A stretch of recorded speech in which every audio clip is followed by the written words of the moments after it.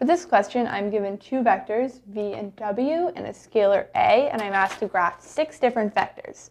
The first three are just v, w, and v plus w. So let's get started on v. The vector v is the vector 1, 2. So I'm going to start from the origin, go one unit in the x direction, and two units up in the y direction.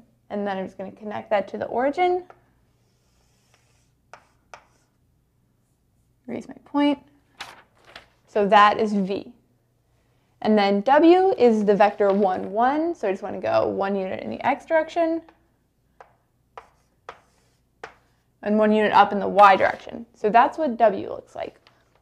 Now I want to use the kind of parallelogram method to find v plus w. So basically you draw the vectors end to end, so kind of arrow to tail.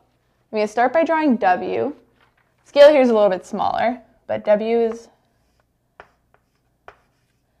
the vector 1, 1. And then I want to start v here, so over 1 and up 2. So see I have v I'm sorry, W and V to go head to tail, and then you just want to draw from the origin up. So it kind of makes a little triangle. And I can also find it using the components. So I just add components. So I've got 1 plus 1 gives me 2, 2 plus 1 gives me 3. So you can check over 1, up 3. So we're good there.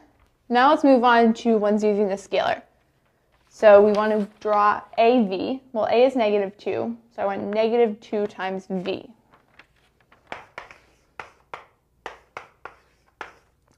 which is going to be uh, negative 2, negative 4. You just distribute the scalar to each component. So I want to go 2 units in the negative x direction and then down 4 units. So 1, 2.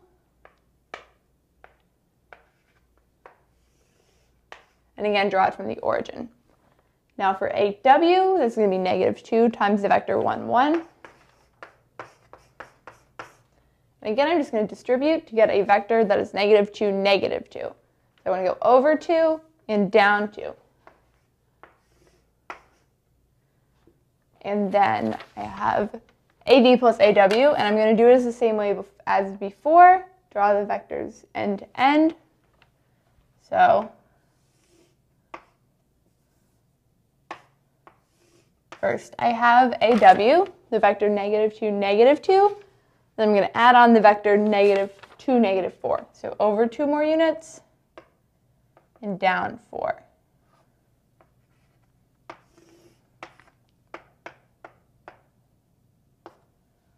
And then just connect. So this is a longer vector, and if I add component-wise, I can see that it's, it is the vector negative 4 comma negative 6. So now I've drawn all six of my vectors, and I'm all set.